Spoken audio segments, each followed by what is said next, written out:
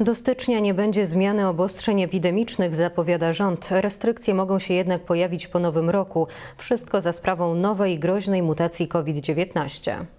Dziś odnotowano 13 806 nowych zakażeń koronawirusem. Zmarło 538 osób. Jak na razie nie ma w planach, aby wprowadzać w Polsce nowe obostrzenia w związku z pojawieniem się nowego wariantu choroby.